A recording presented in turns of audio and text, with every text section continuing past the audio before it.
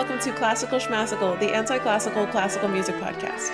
Tune in every Saturday as we discuss, deconstruct, and dissect what it means to be a musician in the modern world. I'm your host, Alexa Letourneau. I use any pronouns you like, and our guest this week is Lidiya Yankovskaya.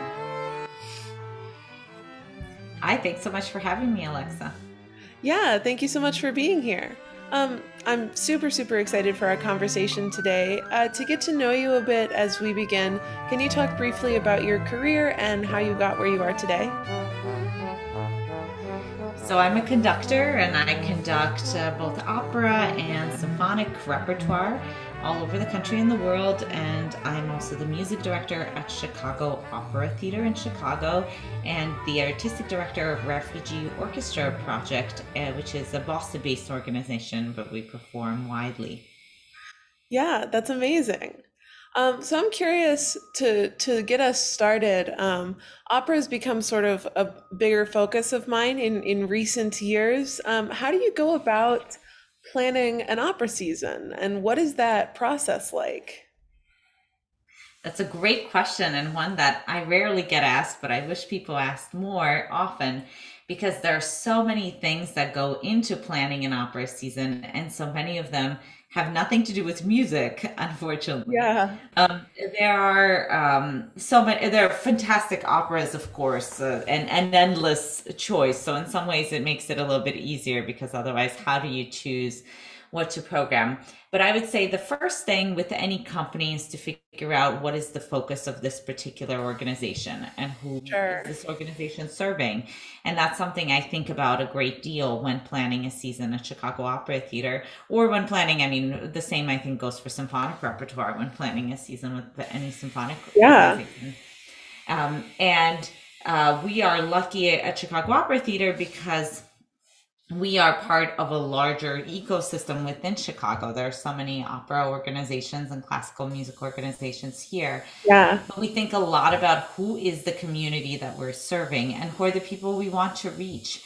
Because opera, certainly to me, is just such a, an art form that has so many possibilities. Mm-hmm. Uh, and so many opportunities, and there's so many things, um, so many different kinds of people that it can reach, especially if we make people aware of what this art form is capable of. I think many people are not aware.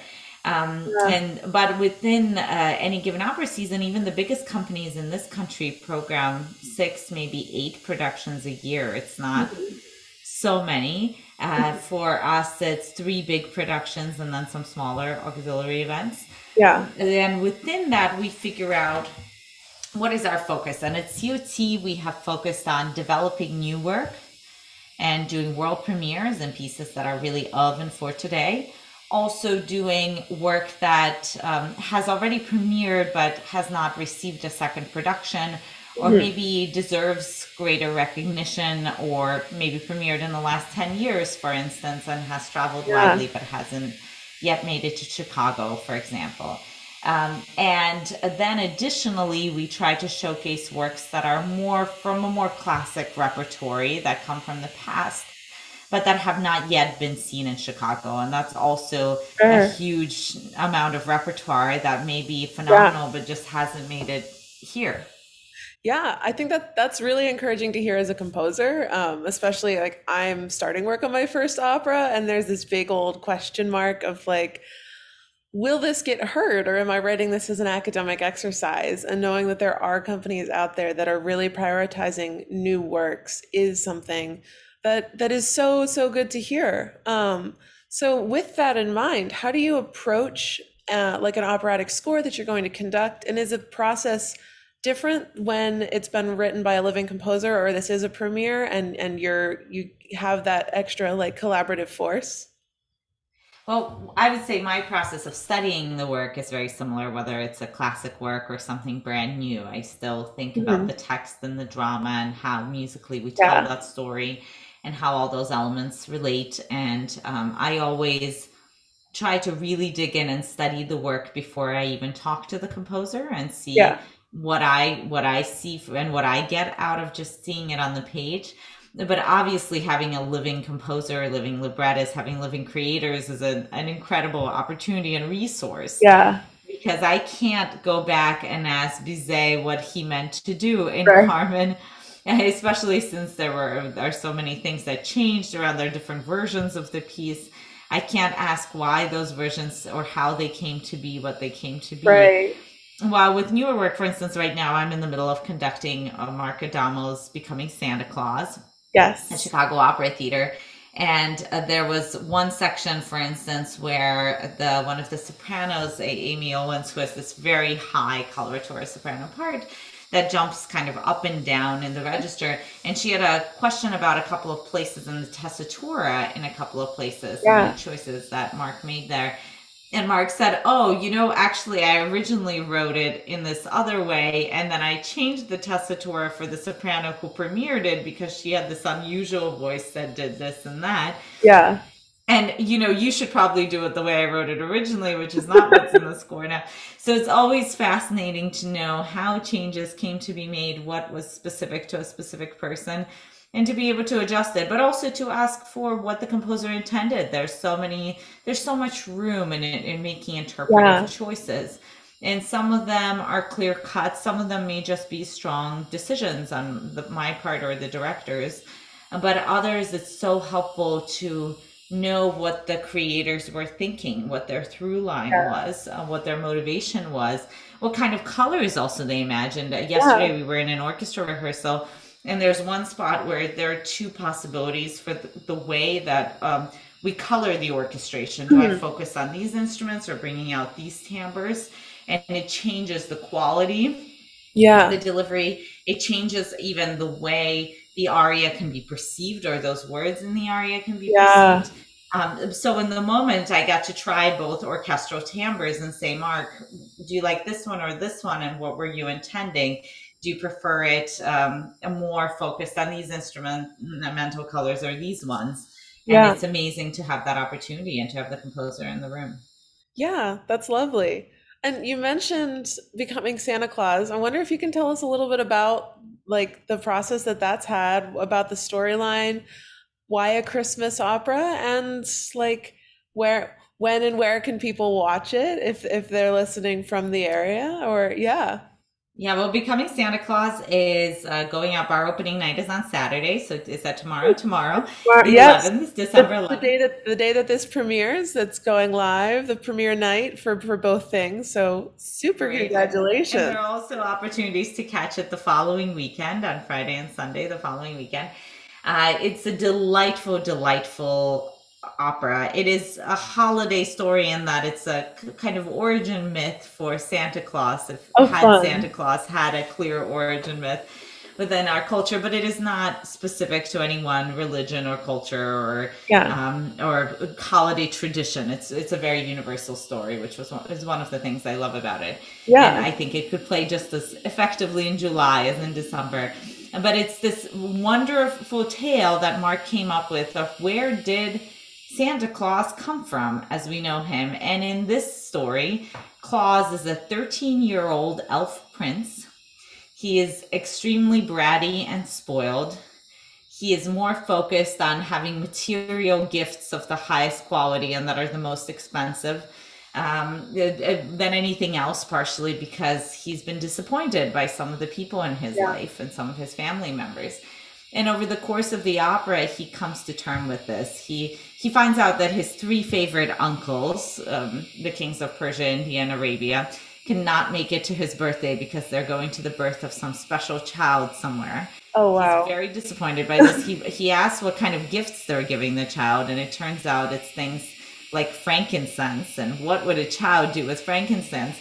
He decides to outdo them and out of spite he creates he works with works his elves to death his uh, the servants in the castle and creates these wondrous amazing toys and gifts um, yeah. But in the end he gets to bethlehem too late. Uh, he misses the, uh, the the christ child. Everybody's already gone and he thinks about it and he realizes that gifts aren't about outdoing somebody or spite or the material yeah. aspects. They're really about something that comes from the heart. Uh, and he decides to give away the toys to all the children in the world.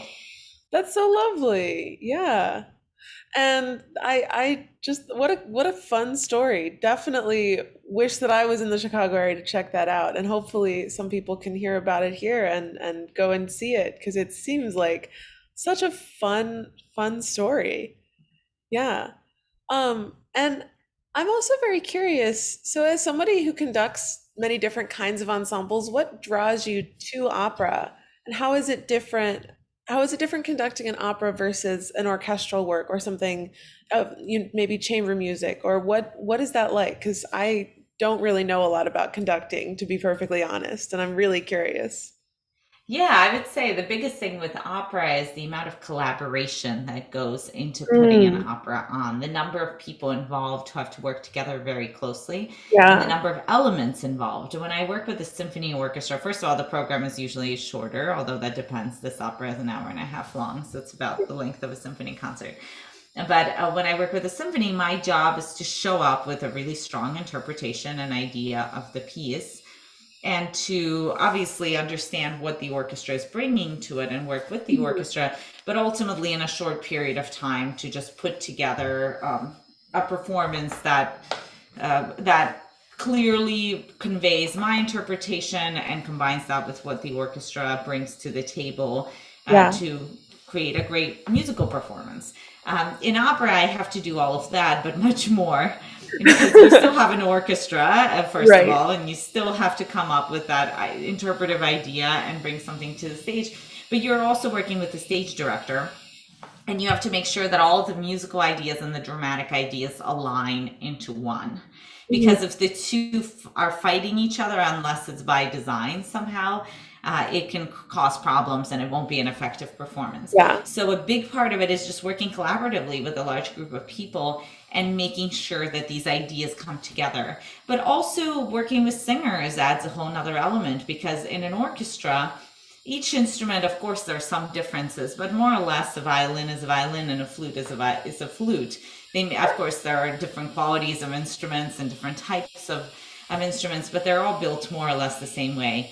With the human voice, there are as many voices as there are people yeah. no two performers will be alike. You can't uh, exactly anticipate how a certain voice will function. Plus singers have to worry about text and movement right. on stage the dramatic movement and all of that affects also the vocalism.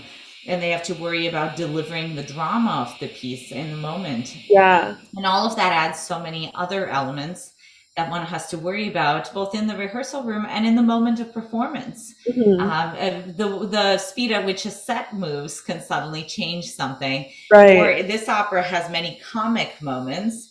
Uh, the reaction of the audience may affect how we yeah. time something, or how we approach it, or how we're doing it in a given way day or frankly the way the singer is feeling that day or right you know what if someone's a little tired or their body's reacting to things in a certain way. There's always this element of something changing, of surprise. Yeah. And I love that about opera. I love symphonic performances because there is a certainty to them, much more so. And once you know exactly how you want to present a piece, you can present it that way. And in some ways, it's sure. It's yeah. more sure as long as you come prepared with what you want to do. But in opera, um, it's both much more frightening, but also much more fun in some ways because you yeah. have this element of surprise and you have to be able to adjust on the fly and to make it effective for that moment. Sure. Yeah. It's really interesting to hear because I, like I said, I'm working on my first opera now and like thinking about the drama of the music versus the staging versus how are you imagining this character's emotional arc and what does that look like in the singer's but it's it's a whole lot to think about and and knowing that there is this sense that that is that is happening on all scales of the production is well, really really writing the opera i mean writing an opera is an enormous undertaking it's so hard because as a composer you not only have to understand all of those musical elements like you do for writing an art piece of art song or oratorio or all of yeah. those things but you also in a sense you are the director and you are right. the actor for the singers because you create the sense of dramatic timing you create the way in which a line is delivered a line of yeah. text is delivered um, we have a program at chicago opera theater called the vanguard composers program which uh, is an opportunity for composers who want to discover opera to really dig into this world and to write their first opera. Yeah. Uh, and it's amazing just how much there is to think about and how much uh, they have to discover over these two years. And these are usually composers who are already very accomplished coming into the program. Yeah. Yeah. So, a little bit of a selfish question, but building off of that, do you have any advice for composers as they tackle their first operas? There are so many things to think about. I would say, um, really dig. I would say the number one thing is really dig into some of the operas that have survived through the centuries. Mm and try yeah. to figure out why. And I don't mean just go and watch a production because that doesn't really tell you anything. That tells you about how that piece was interpreted in that one moment.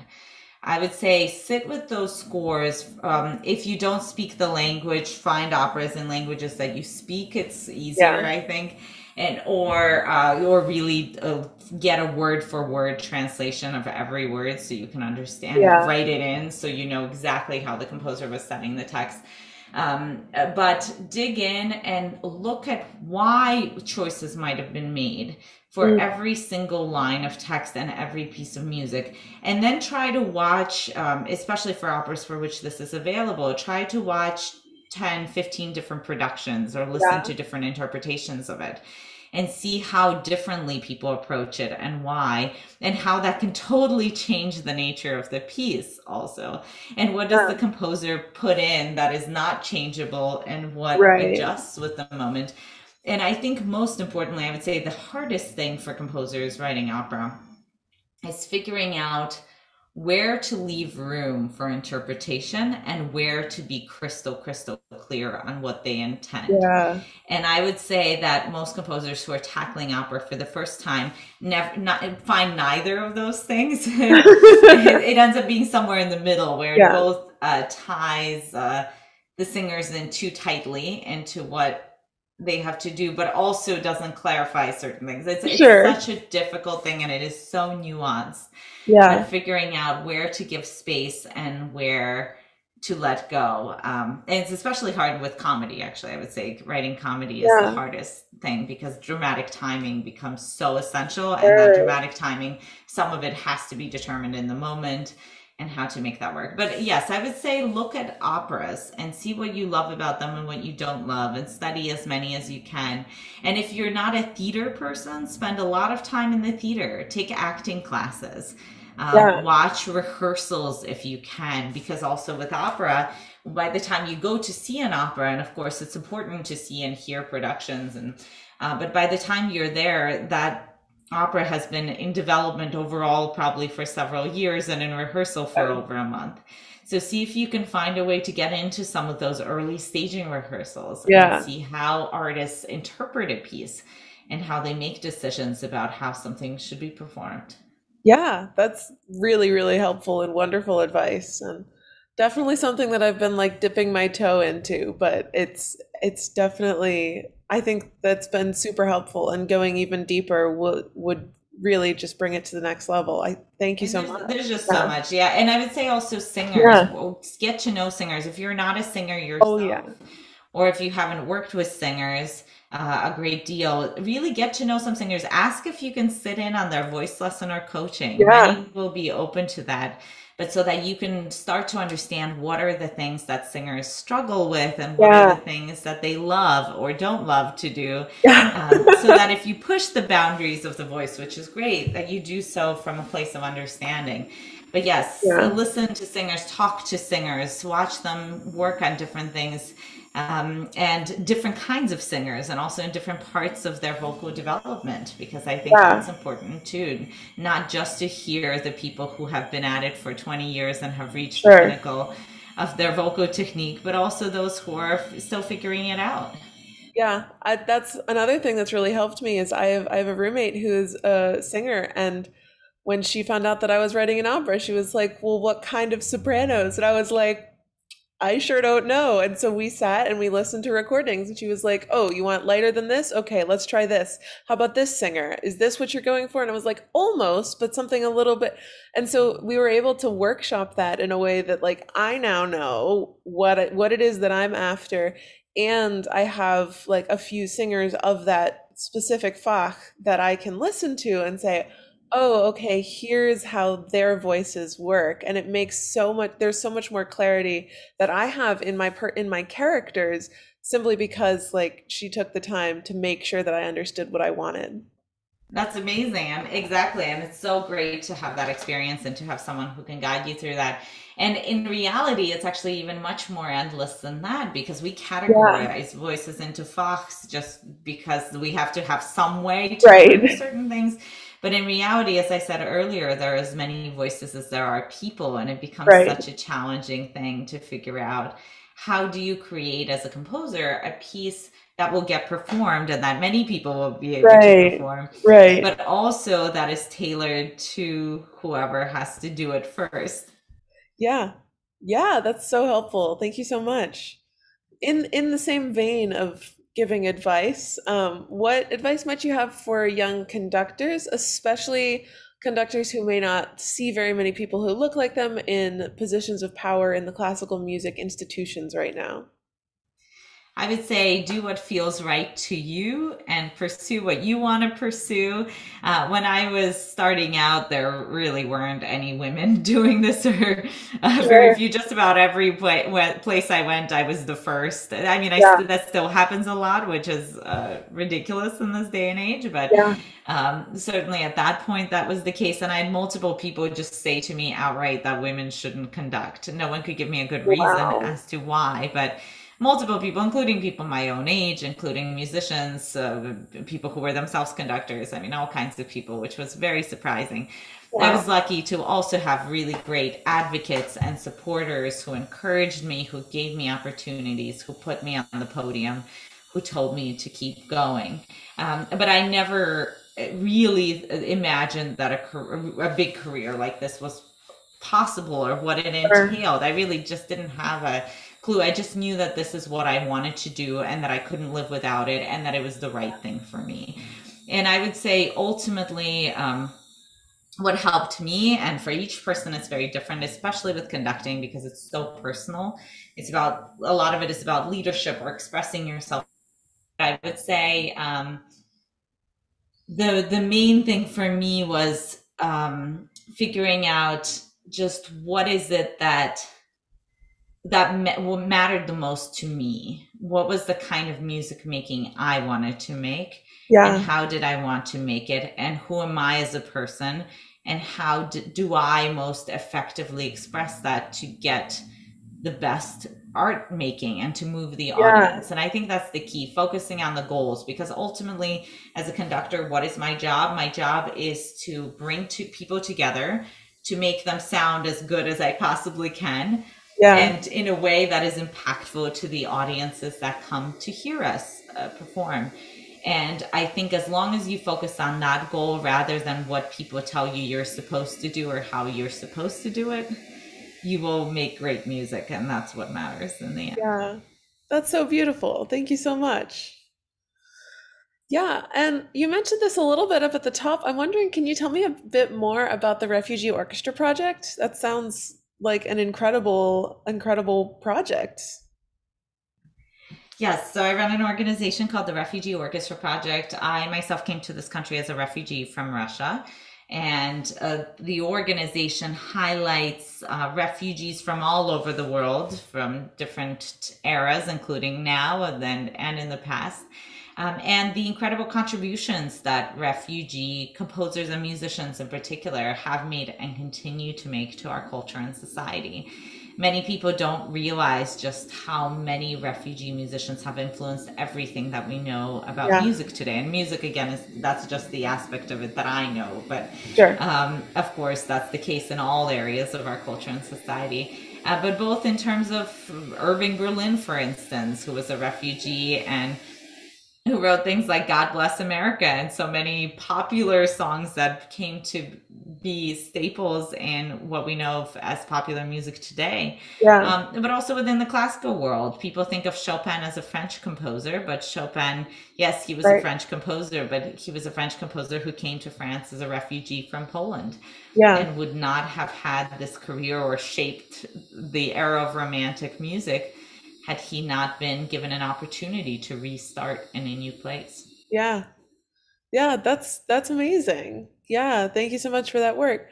What is how is I don't know exactly how to phrase this, but how is like geog- geographical location, has that had any impact on your music? 'Cause I know I think if I remember correctly from from reading uh, a little bit before this interview, um, you're sort of newer to the Chicago area, coming from the East Coast, and then coming from Russia as a refugee. What is, how has your location kind of impacted your art, if if at all? Yeah, well, I think in each place you have a different audience, you have a different culture. You also have people who have been exposed to different kinds of music, which Yeah, affects what we love and how we react to things because what our experience of music is, um, uh, that experience is shaped by a combination of what we're hearing in the moment and also what our expectations are and what we know. Yeah, So if you're performing, for instance, for an audience of people who, let's say, have never been to a classical music concert, but they've listened to a lot of um, techno, they will love a minimalist composer, perhaps, for example, because it's, it's uh, the roots, actually, the music, there are many musical connections, right, yeah, between the two.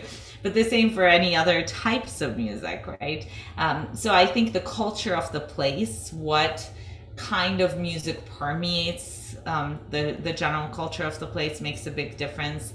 The uh, also, frankly, what kinds of subjects people are interested in that are non-musical, because music doesn't exist in a vacuum. It's an art. It's reflective of our world. yeah, So, what happens in our world and how people are doing, how they're feeling, how they're dealing with it, also affects their reaction to certain music. Uh, I think that's very important. But also in each place, uh, the cultures of playing are different. Each yeah, orchestra plays very differently, and that's even true within the United States regionally. The yeah, way uh, orchestras in Chicago play is different from the way most orchestral musicians in Boston play, which is different from the way they might play in Houston. Uh, yeah, and that depends on many things, including what who are the main teachers at the conservatories in that area, who have been the conductors and musical leaders in that era area, and what kind of color they've been looking for yeah. from an orchestra. I definitely feel that, especially like I I just I'm sort of new to the New York City area from Illinois, and it is so huge, especially like we have even have this concept of uptown and downtown music in Manhattan, and it's just like the location of my school making a difference on the music that's happening. It, it's it's truly like kind of bizarre how much of an impact it has. But like you were saying, it, it makes a lot of sense when you think about the musical culture that kind of influences that that relationship. The musical culture and non-musical, just culture at large, and how that impacts the music making. Yeah, definitely. Um, I want to be really respectful of your time. So as we're wrapping up, do you have any other projects or things that you'd like to talk about or promote? Yeah, I think um, at Chicago Opera Theater, we have a number of other exciting uh, performances. So, as I mentioned, Becoming Santa Claus opens, uh, I think, the same day that this gets released. And then we'll be running the following weekend as well. Mark Adamo's score is absolutely brilliant. And next spring, I will not be conducting this. Uh, we will have a, a guest conductor, um, uh, Jeri Lynne Johnson, who's wonderful coming in. But at Chicago Opera Theater, we're premiering it's the world premiere of Quamino's Map by composer Errollyn Wallen and librettist Deborah Brevoort. They're both phenomenal artists. Errollyn is a UK based composer, but who has written, I think, something like 20 operas. Oh, wow. Uh, but they've been performed much more widely in Europe than here. And I'm very Yeah. excited to bring her uh, here with that project. Uh, and otherwise, I have a few symphonic concerts coming up, and anyone who's interested can visit my website, which is lidiyayankovskaya.com or lidiyaconductor.com. My name is spelled L I D I Y A, conductor.com.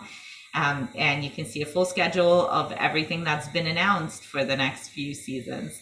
Um, Yeah. and of course, also, since I know that you have composers who listen to this podcast as well, I would encourage any composers who are thinking about writing opera, maybe they even haven't thought about writing opera, but love telling stories through music and through the human voice, to look into our Vanguard program. We take applications every year, and it's a two year residency at Chicago Opera Theater in Chicago, which includes also World Premiere Commission. Yeah, amazing. Thank you so very, very much for joining us here. Um, and thank you to thanks to you at home as well for joining us at Classical Schmassical. If you enjoyed the show, there is definitely plenty more where that came from, so make sure to like and subscribe so you don't miss any episodes.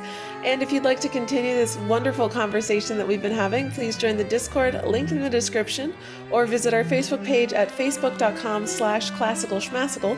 That's schmassical, S-C-H-M-A-S-S-I-C-A-L. And remember, as always, stay classy and questionably classical.